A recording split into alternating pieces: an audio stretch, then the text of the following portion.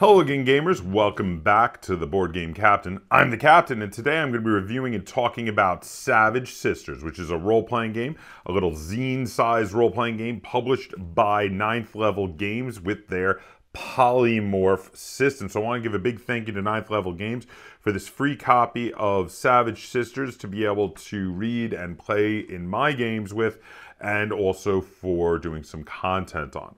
So uh, thank you very much, Ninth Level Games. Now, before I get too into this, I do want to say I've got a ton of links in the description down below that you can check out at your leisure. There's a link to BoardGameKaptain.com, a great hub for all things Board Game Kaptain, as well as a link to my Teespring store where you can get some cool Board Game Kaptain merch, and a link to my Patreon if you'd like to support the channel.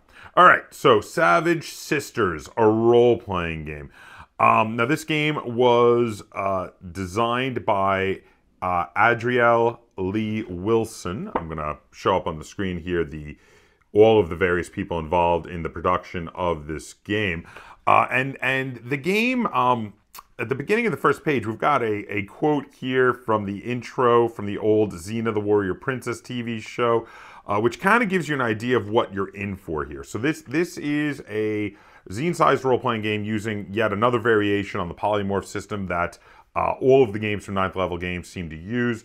Um, but one that is meant to be a ancient world sword and sorcery fantasy adventure game in a setting with lots of badass warrior women. Uh, so you can think things like Xena Warrior Princess or Red Sonja, etc.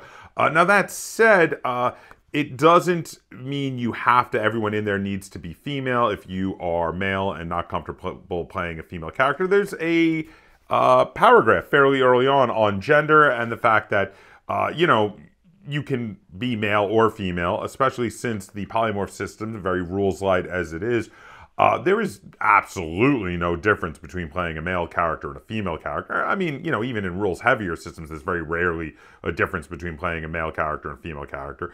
Um, it's just giving you an idea of, of what the setting is like. But that said, I mean, the setting is really just an ancient world sword and sorcery setting. So again, Red Sonja, Conan, uh, Xena Warrior Princess, Hercules, you can be male and female in various uh, setting. So if you're doing the Xena setting, uh, female characters might make characters similar in archetype to Xena or Gabrielle, whereas male players might be more similar to Autolycus or Joxer the Mighty, but maybe less useless. Um, yes, I have seen every episode of Xena Warrior Princess. Uh, that said, uh, the game the game setting is fairly light. Uh, it, it, it takes for granted that you kind of know what uh, the settings of these sort of sword and sorcery ancient world game, uh, games and fiction are like. The um, the rules are also fairly light, even for a uh, polymorph game. This is actually one of the lightest implementations of the game system. Uh, there are plenty of things in other versions of this game system in other games. Uh, that are not here. So there, there is no advancement system, no way to level up. There is the basics of the game system and most of the the versions of the polymorph are still here. Uh, every character picks a role, which is sort of like a class, which basically is what die you roll for everything. So the dice, of course, are the four, the D4, the D6, the D8, and the D10.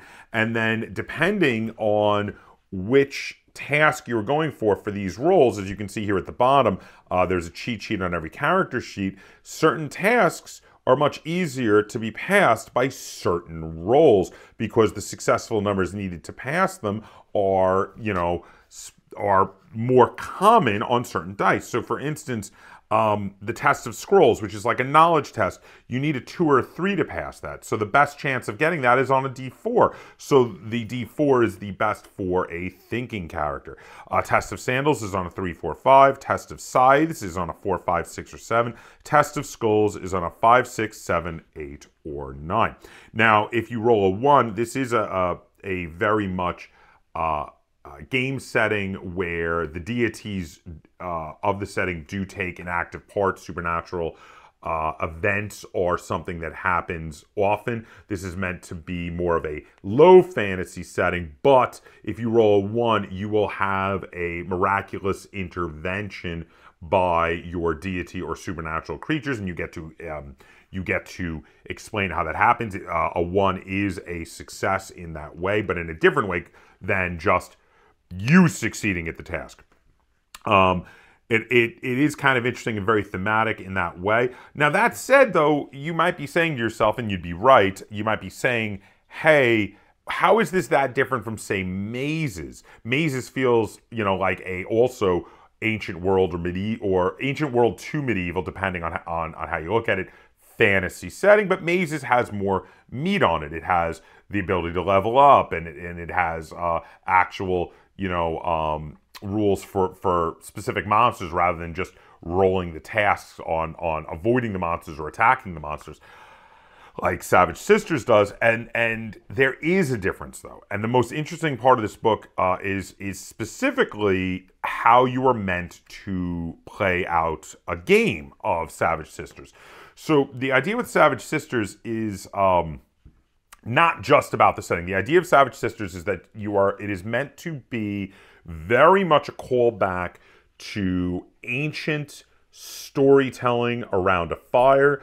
Uh, the sort of thing that people have been saying is the influence for role-playing games since the the invention of modern role-playing games have been saying that you know communal storytelling is really the the main inspiration behind the creation of the role-playing game genre and this is very much meant to call back to that so the thing is you are all supposed to be people sitting around a fire telling tales communally and taking over from one another. Now, you each pick a character in the tale that you are going to represent that is going to be your your character that you're playing, but you're not actually them. You're actually someone telling the story. It's just you are controlling them in the tale. And you each get a chance at being game master. Now, this is very interesting. Uh, you're meant to basically, if I start as game master, I go through the first main event. But then when I'm done, the next person takes over and they go through the next major event. And then the next person takes over and it goes round robin. Uh, while you are game master, your character becomes more of an NPC. And uh, and you will all communally tell the story. So now there are some really good things and some really bad things about this, in my opinion. Um, so the first thing I want to talk about is the fact that on a positive note, this really helps to um, uh, play a very impromptu role playing game. You can slap out a character of this in under three minutes. Uh, it's so easy to make your character. You can just like quickly brainstorm amongst the group. Okay, what are we what are we going for? What kind of story do we want to tell? And you can just jump into it. You bring through the first major event. The next player, inspired by you, takes you to the next major event, and so on. And that can be really cool. Uh, this can make for, uh, with a creative group of people, a very cool impromptu role playing game, which I like. That is a very fun thing. But there are some issues. So the thing is, you're assuming that everybody in the group is going to want to game master some, is going to want to be the GM for a little while there. And I mean, that's really necessary for this game to function properly as written. Uh, I play with a lot of people that don't want to touch that at all. Now, you could skip over them, and you could also maybe play this with a single game master like classic uh, role playing games, but doing so kind of makes you lose what is the most interesting part of this game. The whole communal aspect of this game is by far and away the thing that makes it stand out the most. So I feel like this game can be really awesome, but you you really have to play it with a group of people that you know can be both creative as game masters or storytellers as well as role players. You also want to play it with people that you know will not fall into the trap of using their character as a DMPC and you know make them solving all the problems rather than have the other players solve the problems while they are game mastering. Um, so so this can be awesome, but you do need the right group of players to play it, which makes it a little more restrictive. Um, because that I know plenty of people that I have played role playing games with that would not want to jump in and game master. They prefer to be more of a background character and only interject on occasion.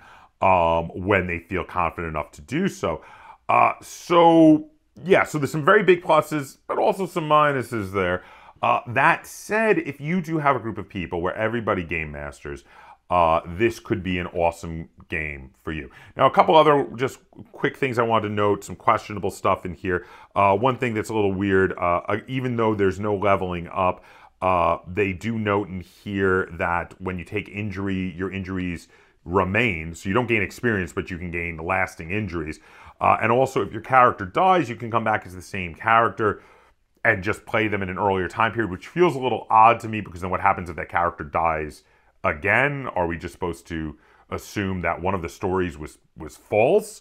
That um, you know, but again, because you are uh, telling the stories around the fire, that seems like the most logical explanation to me. But I feel like they missed an opportunity to just say, "Hey, just make another character." Because why not just make another character? I mean, uh, all of these are basically one-offs anyway, even if they are about the same character, since there's no real character advancement. There's no leveling up, no improving your stats. Um, so it, it, I just felt like, but again, that's a minor thing. You can just do that. You can just make a new character. You can just play it that way. Uh, overall, I am more positive as, on this game than I am negative. I do think it is is pretty cool. It's very rules light, easy to jump into, very easy and quick to make a character in. And as long as you have a group of people that can get into it and get really into the storytelling aspect of it, this could make a really fun impromptu role playing game session here or there at a convention, um, at a gaming event, on a game night where not everybody could show up for your regular role playing game, even on a board game night, as long as the people there are the kind of people that would enjoy this communal storytelling type of game. So, overall, I would recommend Savage Sisters to you. Um, if all of that sounds interesting, if all of that sounds fun, and if you have the right group of people to be able to play this with. So overall, I'm going to give Savage Sisters 7.5 stars out of 10. I do think this is quite fun. Um, and you know what? This is like a very affordable, tiny little zine-sized book, as most of these are. This is a little staple binding, black and white printing, um, but fun-looking book with some fun little little bits little bits of artwork in in here. This one is real quick to read. I was able to go through it in just one day. Uh, total of only uh, 42 pages. But yeah, uh, so not a huge commitment to getting this one. But there you have it. Uh, 7.5 stars out of 10. Uh, if you have played Savage Sisters, let me know what you thought of it in the comments down below. Uh, and let me know how the whole communal role-playing aspect worked out for you and your group. If you enjoyed this review of a role playing game product and you'd like me to do more like it in the future, be sure to give it a like, share it on all forms of social media, and if you haven't already, please subscribe to the Board Game Kaptain. That's Captain spelled with a K on YouTube. And until next time, game on.